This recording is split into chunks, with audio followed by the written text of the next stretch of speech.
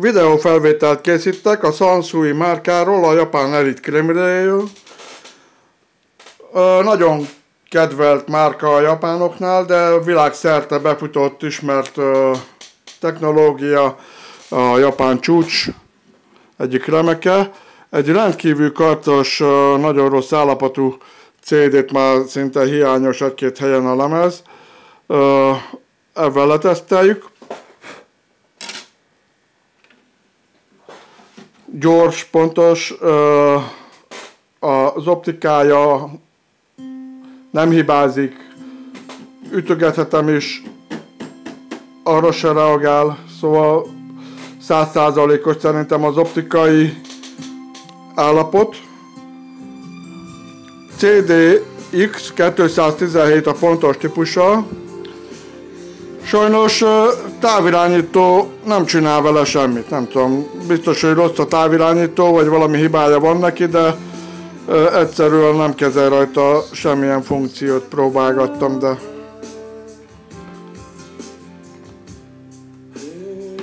elnézést kérek ez miatt, azért odaadom a távirányítót, mert lehet, hogy valaki hozzáértő meg fogja szerkeszteni, hogy működjön.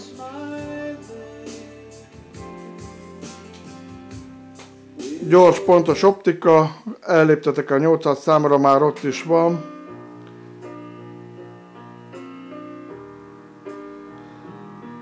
Közben mutatok egy olyan állapotú lemezt, amit a készülékek nem nagyon szeretnek, nem szoktak lejátszani. Le van horzsóva ö, teljes mértékben a lemez, lehet látni a felületén. Ezt a lemez is le fogja játszani. Berakom. Előbb egy írott teljesen noném lemez, ezer éves valami okton lemez volt benne.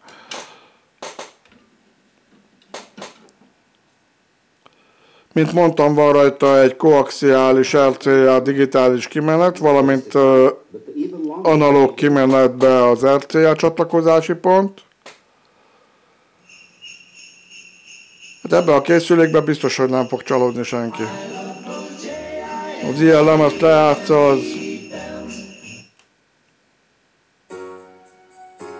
teljesen hibátlan, belepörgetve is.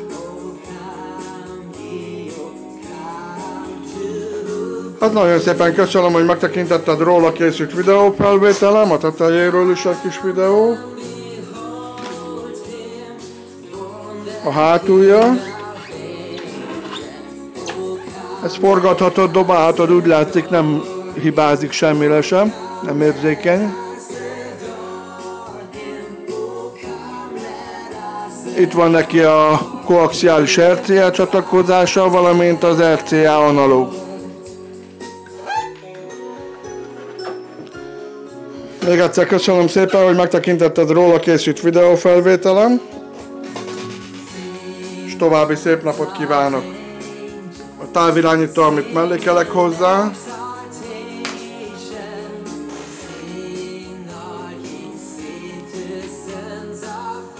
Légy szíves, tekints meg nagy felbontású képeimet is.